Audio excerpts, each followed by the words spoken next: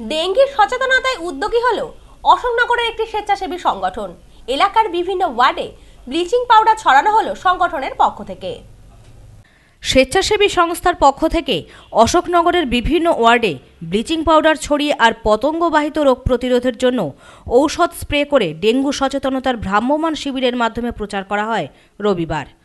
এদিন সকাল থেকেই টোটো গাড়ি করে প্রচারের মাধ্যমে প্রায় পঞ্চাশ জন পুরুষ আর মহিলা মিলে প্রতিটি পাড়ায় গিয়ে রাস্তার দুপাশে ব্লিচিং পাউডার ছড়িয়ে, সাথে পতঙ্গবাহিত রোগ প্রতিরোধের জন্য ব্যারেল ভর্তি করে ঔষধ স্প্রে করেন।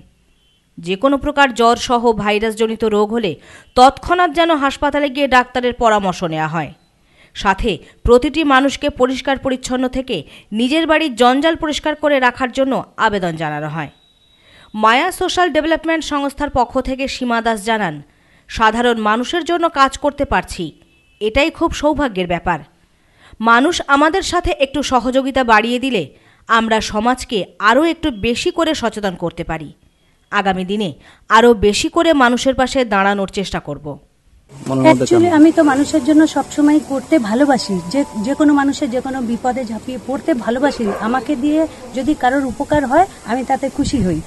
সেই কারণে অনেক কিছু এরকম করেছি। এবার যেহেতু এনজিওটা আমার মায়ের নাম দিয়ে আমি চালু করেছি, এটা এনজিওর মেম্বাররাও এতে খুশি।